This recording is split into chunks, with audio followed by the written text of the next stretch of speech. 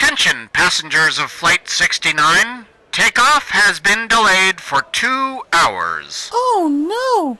I've got to get back to the office today and fax this proposal. Why don't you fax it from your laptop? Because I don't have a computer, dumbass. I don't mean your computer, you silly cow.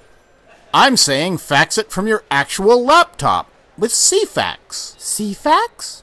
What's CFAX? With CFAX, you can send a document anywhere from your most private of areas.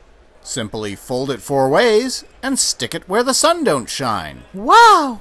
If this deal goes through because of CFAX, tonight you'll be eating out on me. Thank you, CFAX.